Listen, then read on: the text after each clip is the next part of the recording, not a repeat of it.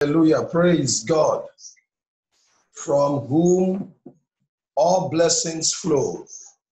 Thank you, Pastor Tony, for the privilege to be on this platform, to be a blessing to God's people. I don't take it for granted. Grace Chapel, hi to all of you. May God bless you all. Amazing family. Um, I count it a great privilege to be associated with Grace Chapel, Chesterfield, United Kingdom. I remember my first ministration was 2009, maybe sometimes in March 2009 or April, I'm not sure exactly the month, but we had a fabulous time. And since then, my heart is knitted with Grace Chapel and Pastor Tony and his family. Thank you so very much. And um, want to thank God for this privilege to be a blessing to God's people. And I pray none will go back the same way they came in Jesus' mighty name. Hallelujah. Praise the Lord. So today i will be speaking on the theme, uh, the topic I've been given for the day, for today, Sunday, uh, 26th. And our topic is manifestation or manifesting the glory. Manifestation of the glory, or we, we can call it manifesting the glory. First of all, we need to look at some basic points. My Father, my God, I want to thank you that you will use me for your glory and that your words will come with power. Speak through me and bless the people. Bless those watching us by live broadcast on Facebook, YouTube, those who are on Zoom right now. Bless the church, Chesterfield, United Kingdom, Grace Chapel. Bless everyone who's watching us. Bless your children, touch lives, transform lives. Use me for your glory. In Jesus' mighty name, we have prayed. And the people said, Amen and amen and amen. Praise God forevermore. So we go into the word. What is this glory? We're talking about manifesting or manifestation of his glory.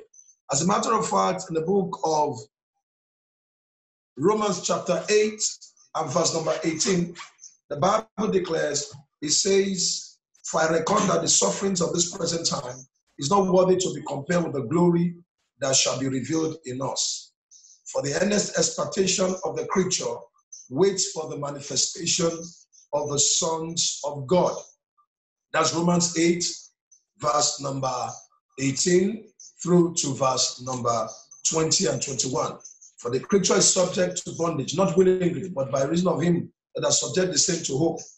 And the creature shall be delivered from the bondage of corruption into the glorious liberty of the sons of God. But what fascinates me there more is the fact that the Bible says that the earnest expectation of the creature is waiting for the manifestation of the sons of God. So, in other words, Paul was saying that something has been put in you, something has been put in me as sons and daughters of God that the world is waiting to see. See, we're not talking about God giving us glory. Now, if you're a child of God, you are born again, you're a believer, born of the Spirit, you are a carrier of God's glory. If you have received the Holy Ghost, you have received the glory. There's a connection between the Holy Spirit and glory. There's a connection between the Holy Ghost and glory. And I'm going to show you right now. And then you discover that every child of God, everyone who's born again, everyone who's filled with the Holy Spirit, you actually have a measure of the glory of God in you. You have the measure of the glory of God in you. Who is this glory? I, I won't say what is the glory. Uh, the glory, in a way, is not a what. The glory is who is the glory. You want to know who the glory is. You want to know for the purpose of discussion, or you want to know what the glory is. But the, in reality, who is this glory? In the book of Romans, chapter number six, Let's go to Romans chapter 6, and then we see from verse 1. Just follow me. What shall we what shall we say then? If shall we continue in sin that grace may abound? God forbid. How shall we that are dead to sin live any longer therein? For ye for know you not that so many of us as were baptized, verse number three, into Jesus were baptized into his death. Therefore, we are buried with him by baptism into death, that like as Christ was raised up from the dead by the glory of the Father, even so we also should walk in the newness of life. I want you to note that there. Christ was raised up from the dead by the glory of the Father. Let me ask you, how was Christ raised up from the dead? How? He was raised up from the dead by the glory of the Father. Christ was raised up from the dead by the glory of the Father. So if I ask you, who raised Christ from the dead? The answer is the glory of the Father. Who raised Jesus from the dead? The answer is the glory of the Father. So the glory of the Father actually raised Christ from the dead. That's another way of saying Jesus was raised from the dead by the glory of the Father. So don't forget that. Then let's go further. Romans 8, Romans 8, verse number 11. Verse number 11. It says, But if the spirit of him that raised up Jesus from the dead dwell in you, the spirit of him that raised up Jesus dwells in you. He that raised up Christ from the dead shall also quicken your mortal bodies by the Spirit that dwells in you. So Romans 8 11 shows clearly that Christ was raised from the dead by the Holy Spirit, by the Holy Ghost. The Holy Ghost actually raised Jesus from the dead. The Spirit of the Father, or the Holy Spirit, raised Jesus from the dead, according to Romans 8, verse 11. So let's combine Romans 6 4 and Romans 8 11. Romans 6 4 says, Christ was raised from the dead by the glory of the Father. All right? He was raised from the dead by the glory of the Father. Romans 8 11 now switches and tells us Christ was raised from the dead by the Holy Spirit. The Spirit that dwells in you and I was the Spirit that raised Jesus from the dead. So if I combine Romans 6 4 and Romans 8 11, then it follows that Jesus was raised from the dead by the Holy Ghost, who is the glory of the Father. Therefore, the Holy Ghost is the glory of the Father. The Holy Spirit is the glory of the Father. So that's that's that brings me to the point that I'm trying to uh, uh, emphasize that if you have the Holy Ghost in you, then you have the glory of the Father inside of you. So the glory of the Father, you will now agree that the glory of the Father is the Holy Spirit. The Holy Spirit is the glory of the Father. So when we're talking about the glory of God the Father, is a who? Who is the glory of God the Father? The Holy Ghost is the glory of God the Father. So the Holy Spirit is the glory of God the Father. Now, the Holy Ghost is in you. So the glory of the Father is in you. Come on, say, the glory of the Father is in me. The glory of the Father is in me. The glory of the Father is in me because I have the Holy Ghost in me. So if you have the Holy Spirit in you, then the glory of the Father is in you, brother, is in you, sister. But now let's go to the next point. In the book of John's Gospel, chapter number 17, let's see something very interesting in John's Gospel, chapter 17 here. John chapter 17, John's Gospel, chapter number 17. And then we read from verse number 21 and 22. John's Gospel 17, 21 and 22. That they all may be one, as thou, Father, art in me, and I in thee, that they also may be one in us, that the world may know, believe that thou hast sent me. Then look at verse 22. Verse 22 is very important. Verse 22 is very key. So I want you to focus, look at verse 22, see what the Bible is saying in verse 22. It says, And the glory which thou gavest me, I have given them, that they may be one, even as we are one. The glory you gave me, I have given them. So, what did Jesus, what did God give to Jesus that He now gave to us? He says, The glory you gave me, John 17 22. The glory you gave me, I've also given them. I've transmitted the glory you gave me, I've given to them. I've transmitted the glory to them. Hallelujah. Now, let's move further. What is His glory, or who is His glory? The Holy Spirit is the glory of the Father. And Jesus said, concluded, I have given them the glory. The glory you gave me, I have transmitted it to them. Now, this glory is, is has components, several components, or several um, um, cells that makes up who the glory is, what the glory is. I, I, I call it the five P's of the glory of God.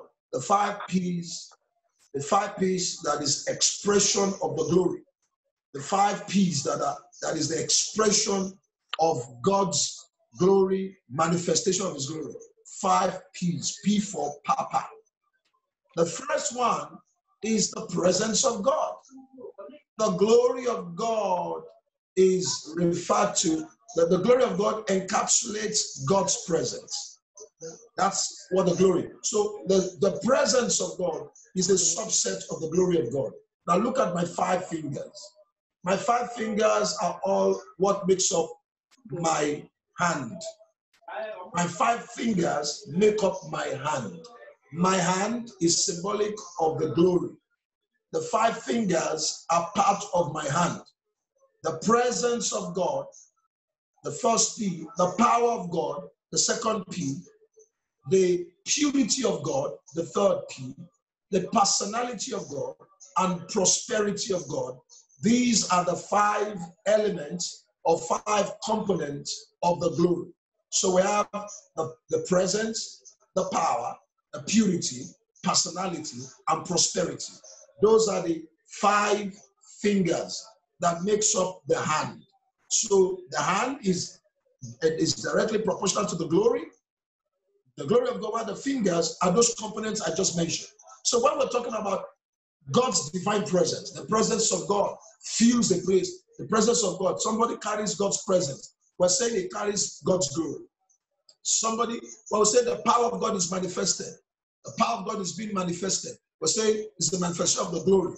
However, the power is just a fraction of what the glory is. His divine presence is a fraction of what the glory is. His personality, that's his person. His person. When we say his personality, we're talking about his character, his nature, goodness, kindness, mercy, etc. They are fraction of what the glory is. Then we'll talk about his purity, holiness. They are fraction of what the glory is. Isaiah saw the glory of God and he saw he saw the dimension of purity. And he said, I am undone. Isaiah chapter 6, you read it there. He says, I am undone. I'm a man of unclean lips. I dwell in the midst of people of unclean lips. My eyes have seen the Lord, the glory of the Lord, and I've seen my impurities. I am impure, I am undone. Why? Isaiah saw God's glory, but the dimension he saw, the part of the glory he saw was a purity of God. He saw that part of purity of God and he said, I am undone. I am a man of unclean lips. I dwell in the midst of people of unclean lips. My eyes have seen the glory of God. Hallelujah. So, so, so the glory of God, and then we talk about his prosperity. I'm coming to all that. Where Joseph said, Go and tell my father of all my glory in Egypt. Uh, Genesis 45, verse 13. Genesis 45, verse 13. Go and tell my father of all my glory in Egypt and all that you have seen. So, in that context, the glory is referred to as the manifestation of prosperity. When God prospers you financially, materially, genuine prosperity is a display of the glory. It's all I can see the glory of God over you. That's a, an angle of the glory. So Joseph said, Go and tell my father, uh, uh, Genesis 45, verse 13, go quickly go and tell my father of all my glory in Egypt and all that you have seen. So the glory of God is the splendor, the radiance, the effulgence of God, the radiance of God, the splendor of God, the the uh, the glory of God is God's value, is God's nature. The glory of God is God's honor. Okay, in some places, the, the word honor and glory are used interchangeably. So when Joseph said, Go and tell my father of all my glory in Egypt, he's saying, Go and tell him of all my honor. That's my prosperity, the honor, the splendor you have seen. Okay, I pray for someone that the sound of my voice. In the name of Jesus Christ of Nazareth, may you begin to manifest the splendor of God in form of prosperity. May you begin to manifest God's honor. May the honor of God be seen upon your life. May the splendor of God be seen upon your life in the name of Jesus. I prophesy, I declare over you. May the glory of God be manifest through you in the name of Jesus Christ. May God's personality be seen in your life, God's nature, God's character, God's goodness, God's kindness. They will see you as a replica of who God is. That's the manifestation of the glory. In the mighty name of Jesus Christ. I pray for someone at the sound of my voice. May you be a carrier of God's divine presence. Like Jesus, everywhere he went, the apostles, they carried God's divine presence. And there were signs and wonders that manifested, and the devils could not hold them bound. May you express God's glory in form of his power, dunamis power. The Bible says, Jesus said to, to Mary, He says, If thou wouldest believe, John chapter 11, I have said to you, if thou wouldest believe, thou wouldest see the glory of God. That's what Jesus said. You will see the glory of God. He was trying to the power demonstration. If you believe, he said to Mary and Martha, you will see the glory of God. And they believed and they did what? They saw the glory of God. Power of God. So the power, the presence, personality, purity, and prosperity encapsulate what the glory of God is. You must manifest these five components of the glory of God. You must manifest the five. One of them, all of them, two of them, three of them, or all of them. You must manifest God's glory in purity, in, in his personality, his nature, in, in, in terms of carrying his presence, demonstration of his power, and in prosperity and splendor. Hallelujah. We must carry God's glory. Amen. Now, let's go further. Reba makarabasende. Babu zufre. I feel something is about to happen here on this platform. People are about to be released into their destiny. People are about to be blessed mightily, marvelously, powerful in the mighty name of Jesus. So let's go back. Jesus said, The glory you gave me, I have given to them. I have given them the glory. The one you gave to me, I have transmitted it to them. That's the person of the Holy Ghost. Is in you, brother. Is in you. And you see, you say, well, the Holy Ghost is in me. Why am I not seeing the manifestation? It's possible that now, now let me tell you this. There's what I call the manifest presence of God. And there's what I call the dormant presence of God. In the lives of some believers, the Holy Ghost is dormant. In the lives of some believers, the Holy Ghost is active. There's what we call dormant state of the glory or active state of the glory. In your life, is the Holy Ghost dormant or is he active? There's dormant, there's active.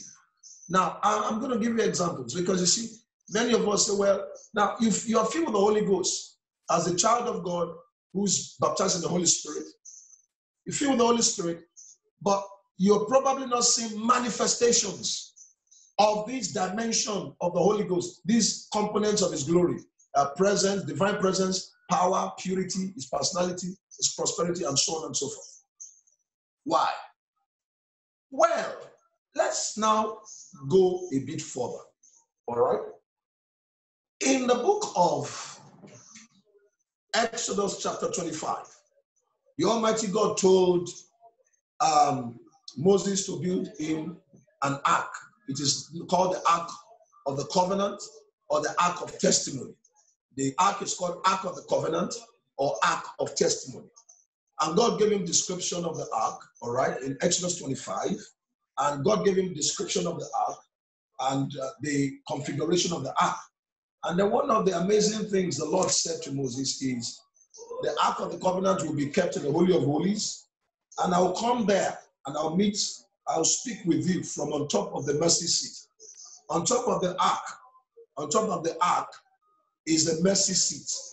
Let me ask you, when Bible puts mercy seat on top of the ark, figuratively speaking, or metaphorically speaking, uh, what does that mean? Figuratively speaking, metaphorically speaking, what does it mean?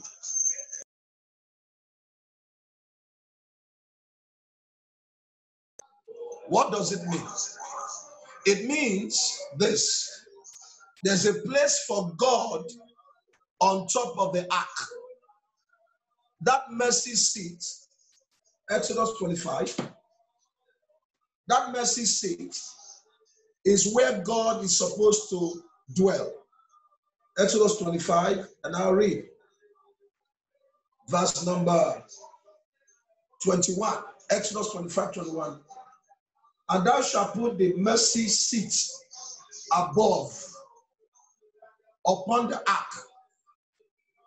And in the ark thou shalt put the testimony that I shall give thee.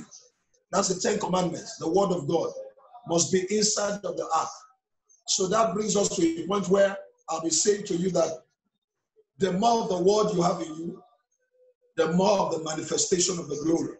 The more of the word, the more of the manifestation of the glory. You see, we're coming to that. The, the commandments, the Ten Commandments, was kept inside of the Ark of the Covenant. The Ten Commandments was kept inside of the Ark of the Covenant. And so, verse 22, Exodus 25, 22, and there I will meet with you. That's what God said. I'm going to meet with you there on top of the ark, on top of the mercy seat.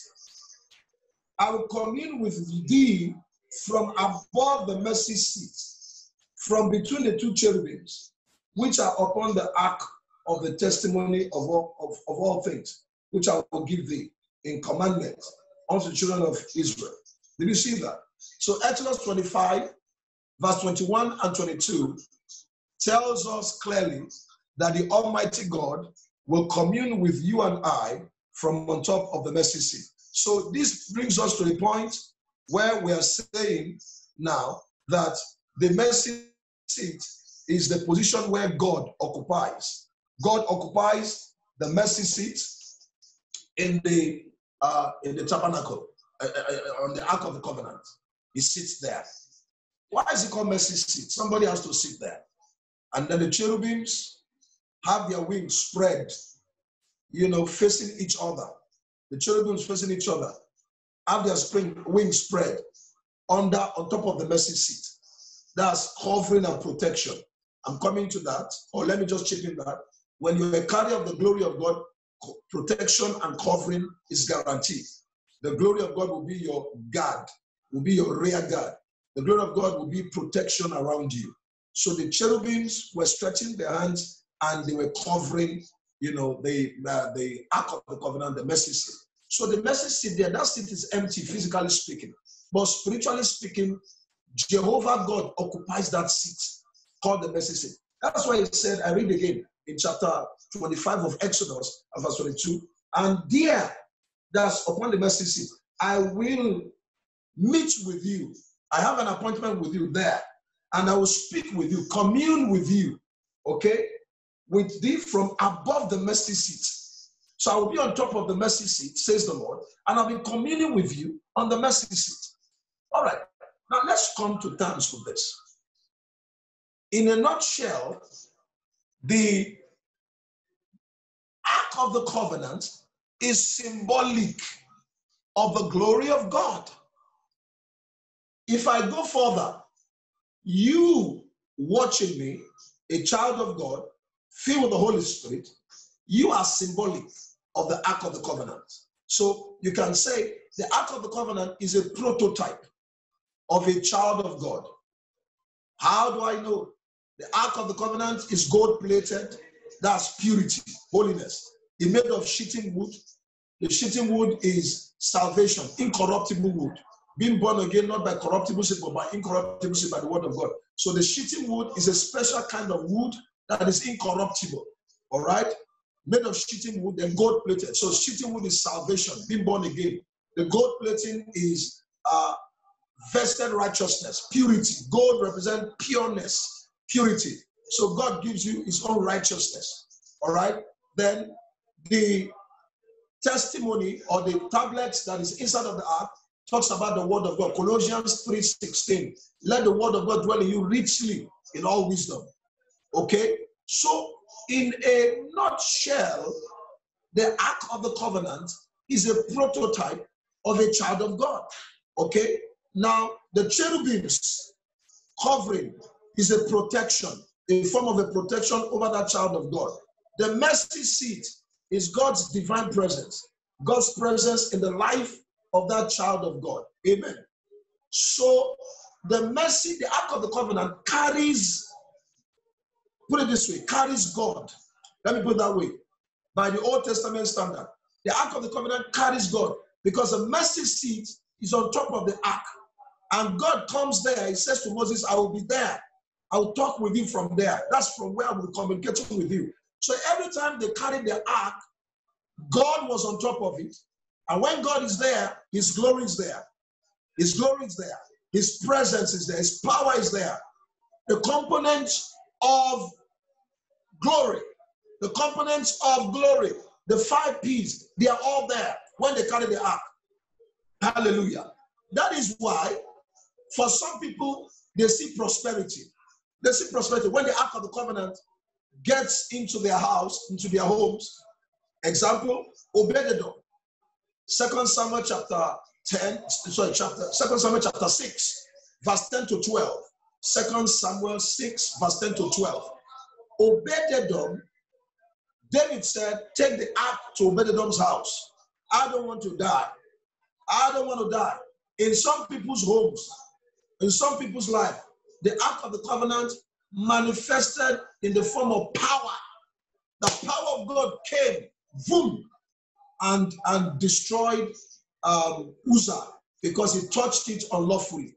He touched the ark unlawfully, destroyed Uzzah. That brings me to the point to say anyone who touches you illegally, anyone who touches you unlawfully, anyone who harasses you, who touches God's anointing see what's going to happen? What happened to Uzzah will happen to them.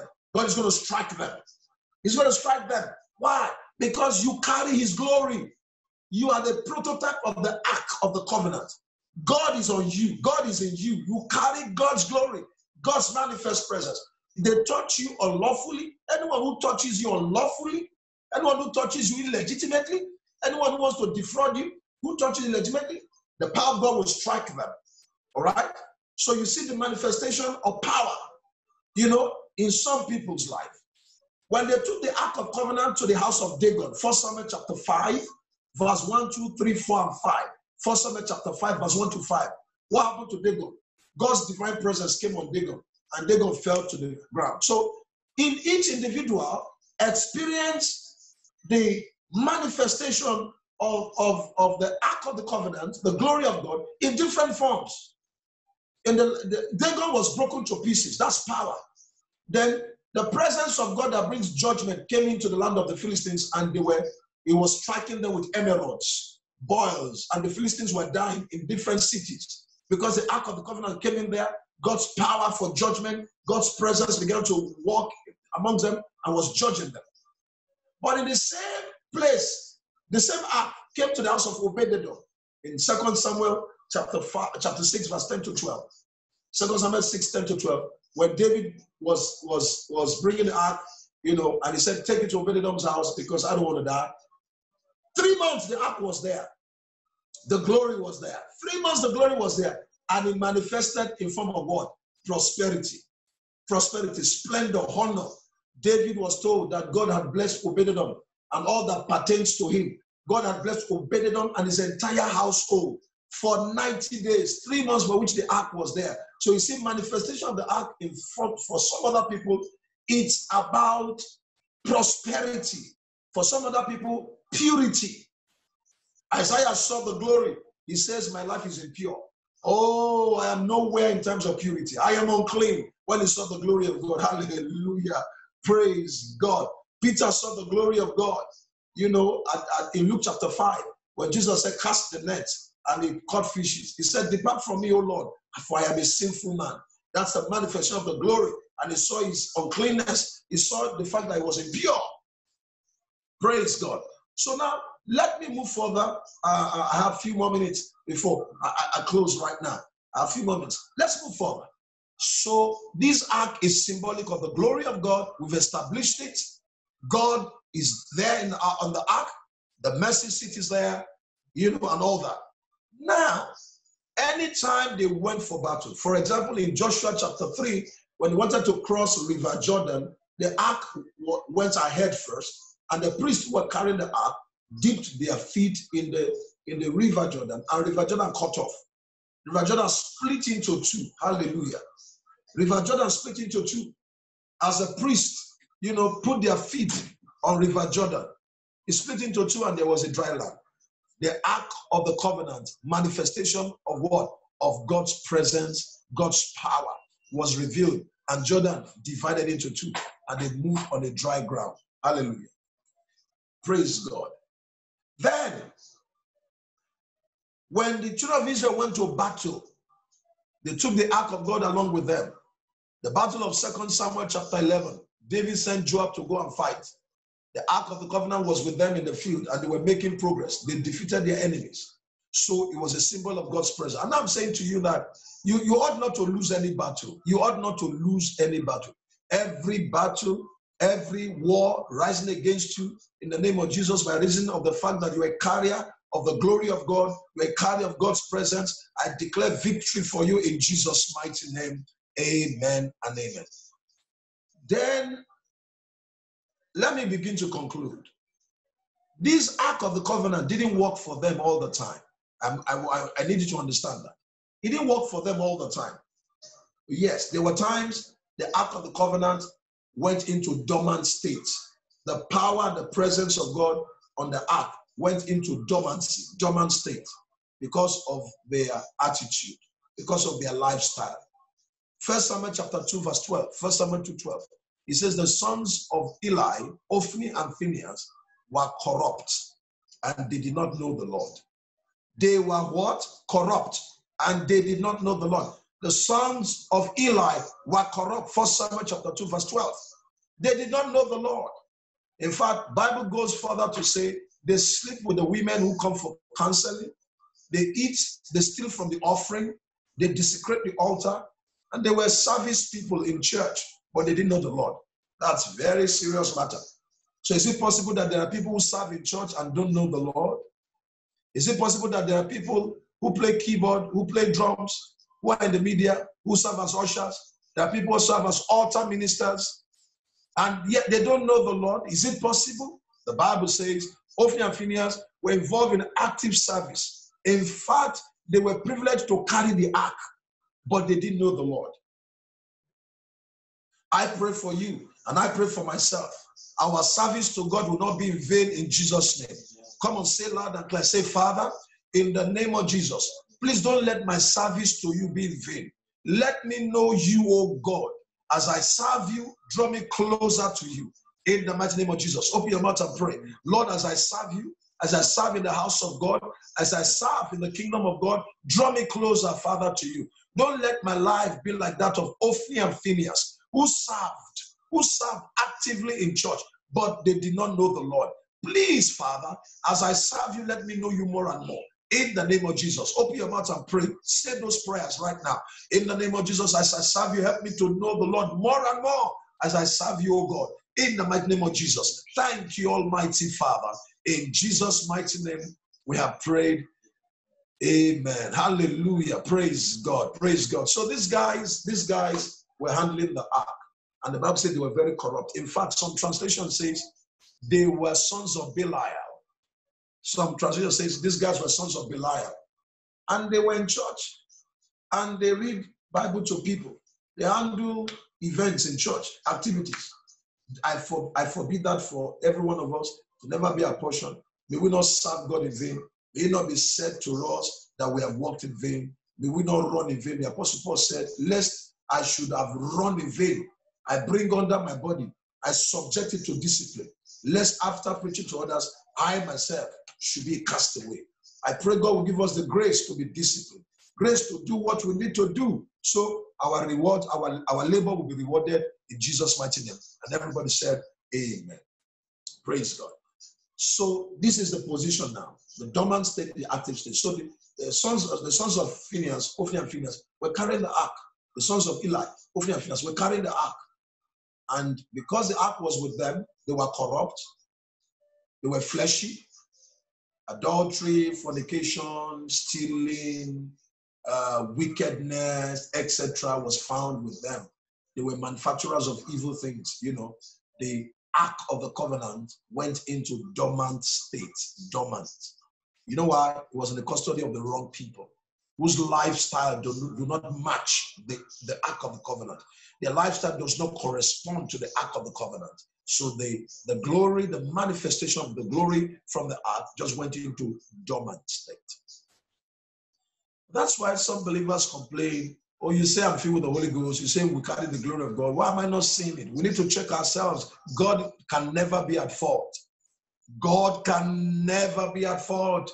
It will never be God's fault. The Bible says that thou mightest be justified when thou speakest and thou mightest overcome when thou art judged. Hallelujah. He said, Let God be true and let every man be a liar. You see that in Psalm 51. He says, So that you'll be you'll be righteous and justified when you speak, that thou mightest be, be, be justified when thou speakest, and thou mightest overcome when thou art judged. It's true, is perfect, there's no darkness in him, there's no lying God. Amen. So if you're not seeing manifestation of the glory of the presence of God in your life, you're not seeing the manifestation of the glory, it's not God's fault. We need to check ourselves. Because God wants us to manifest. Hallelujah. We check ourselves. So in First Samuel chapter 5, oh, I have two minutes, and then we'll be we'll be in First Samuel chapter 5, scripture says that the Bible declares, it says no, just start with chapter 4. First Samuel 4, verse 1 to 18. First Samuel 4, 1 to 18. The, the entire Israel went against the Philistines. Philistines fought the Israelites. They killed thousands of Israeli, Israeli army. And then the people came back disappointed. They started to cry. They called the elders. And the elders said, you know what?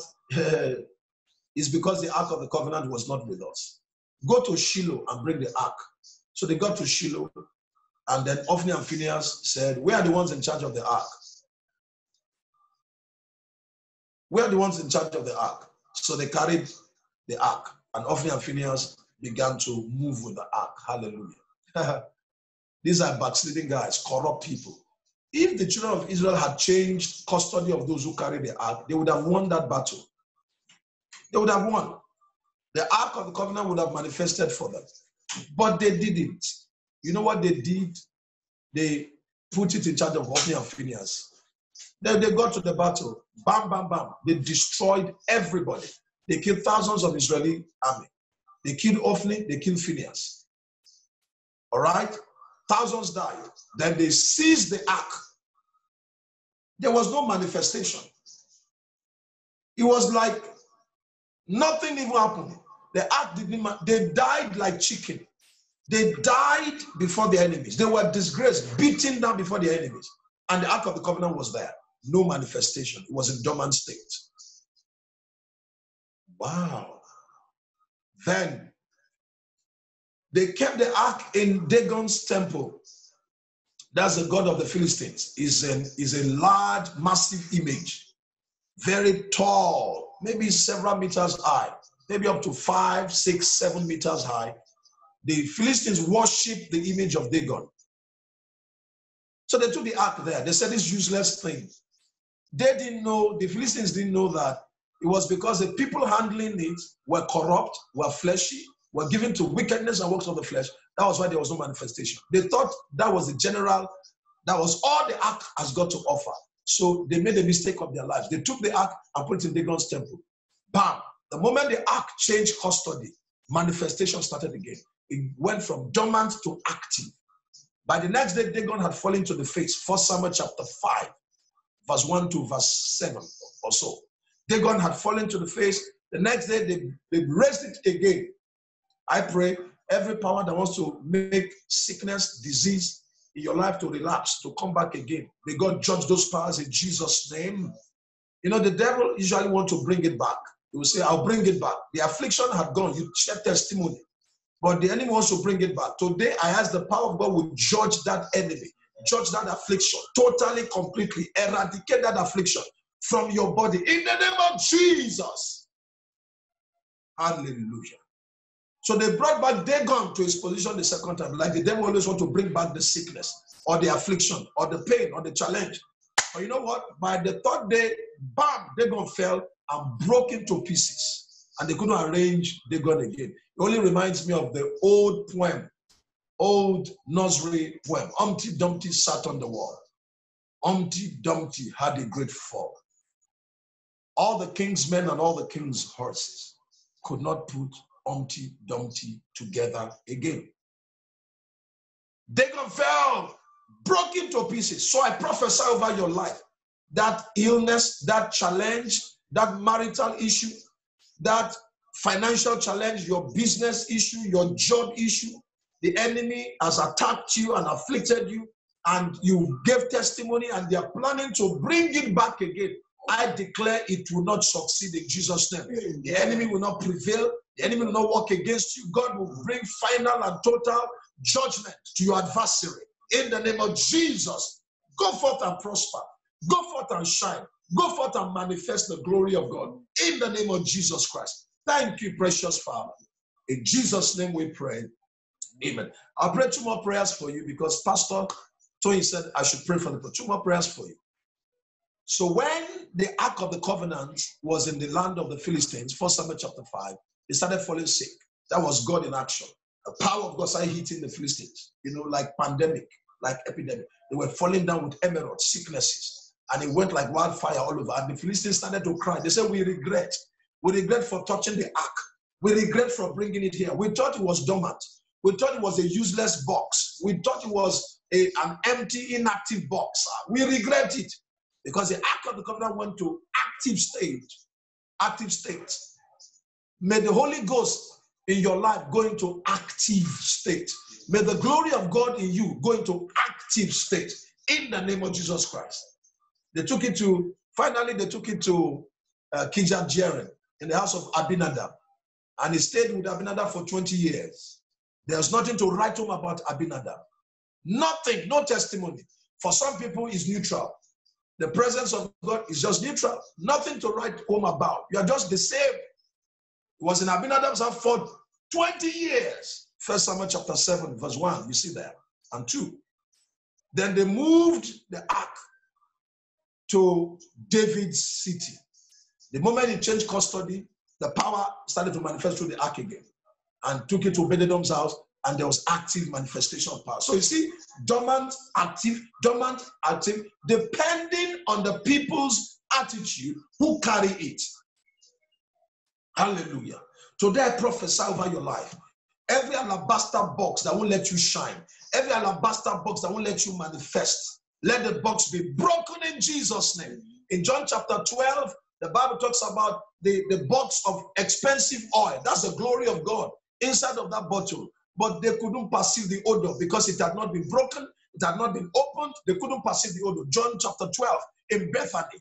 And the Bible says then Mary came and opened it and broke it, and the odor began to diffuse. I pray the glory of God in your life will begin to diffuse. If there's a need of breaking, God wants to break some of us, a life of brokenness. He wants to break us so we can manifest. He wants us to be broken, broken, broken, broken. Pride broken, works of the flesh broken, propensity for evil and wickedness broken, so that the glory can manifest. I pray, Father, for your children watching me right now. Anything that needs to be broken, break it in Jesus' name. Whatever needs to be broken, break it in Jesus' name.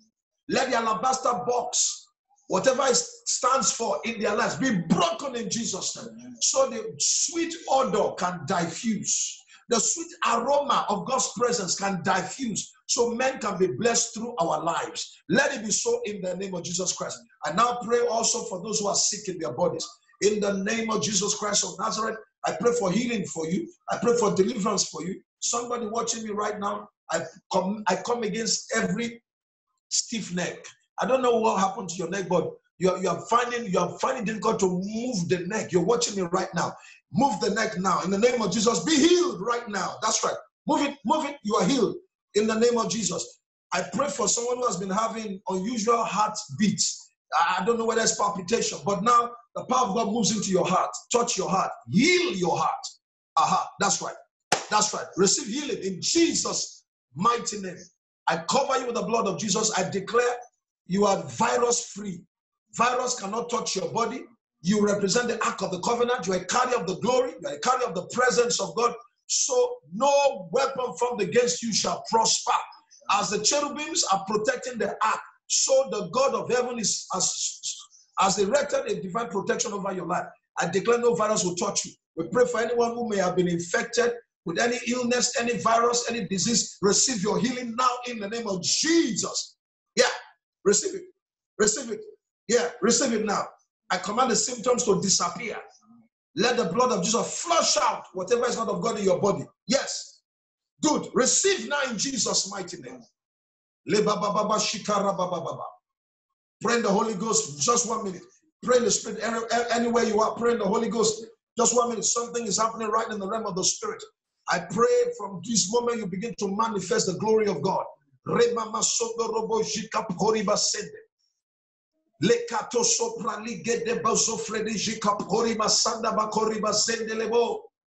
Yes, Lord. I bless uh, Grace Chapel, Chesterfield, United Kingdom. I bless the church. Let the church advance. RCCG Grace Chapel, Chesterfield, advance. Go forward. Go forward. Go forward. Let the glory be revealed in this church. Let the glory be revealed, be manifest through this church. In the name of Jesus. I pray for Pastor Toy. I pray for uh, Pastor Pastor, uh, Pastor Toy Taiwo, and I pray for uh, our daddy also, uh, Pastor Taiwo, in the name of Jesus. I pray for both couples. Let it be well with them. Let God preserve you in Jesus' name. I pray for your children. I pray for members of Grace Chapel. I pray for all the ministers. Let the glory of God be revealed through your lives in the name of Jesus Christ of Nazareth. I'm hearing the word in my spirit. There are two people now. You are going to see the manifestation of the glory after the order of Joseph. You're going to say, Go tell my people of all my glory, splendor, prosperity. Two of you in the name of Jesus. It's going to happen in few days from now. Events will begin to happen in your favor in the mighty name of Jesus Christ of Nazareth. Someone's prayer life is bouncing back. Somebody's prayer life is bouncing back. In the name of Jesus, receive revival of prayer right now. In the name of Jesus. Come on, hallelujah. Praise God. Thank you, Lord. Thank you, Lord. We give you praise. If you're watching us and you have not given your life to Christ, this is an opportunity. Say, Father, I come to you right now. I open my heart. I receive Jesus into my heart as my Lord and my Savior. I repent from my sins and ask, oh God, I give you my heart today. And those who want to rededicate their lives to Christ, the works of the flesh has weighed you down, so you are not manifesting as you ought. Say, Father, in the name of Jesus, I rededicate my life to you. Oh Lord, help me, oh God. Help me to know you, to serve you, to love you more. Break the alabaster box in my life. Break the works of the flesh. And let your glory diffuse through my life. In the name of Jesus. Thank you for hearing us, Lord. In Jesus' name, we have prayed. Amen and amen. Thank you for having me to be a blessing to you on this platform. May you remain blessed.